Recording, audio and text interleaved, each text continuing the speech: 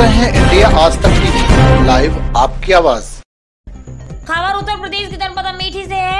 पखवाड़े के दौरान गोल्डन कार्ड विहीन परिवारों के बनाए जाएँगे गोल्डन कार्ड। अमेठी, प्रधानमंत्री जन आरोग्य योजना के आच्छादित आयुष्मान कार्ड विहीन परिवारों को आयुष्मान कार्ड उपलब्ध कराने के लिए 15 से 30 सितंबर 2022 तक आयुष्मान पखवाड़ा आयोजित किया जा रहा है। इस आशय की जानकारी मुख्य चिकित्सा अधिकारी डॉक्टर विमलेंदु शेखर ने आज सीएमओ कार्यालय के सभागार में मीडिया से मुखातिब होते हुए दी।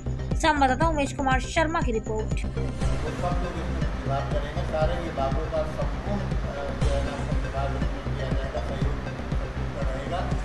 ज़्यादा से ज़्यादा आयुष्मान कार्ड बनवाने का प्रयास करेंगे आप लोगों से भी जो है ना विनम्र निवेदन है कि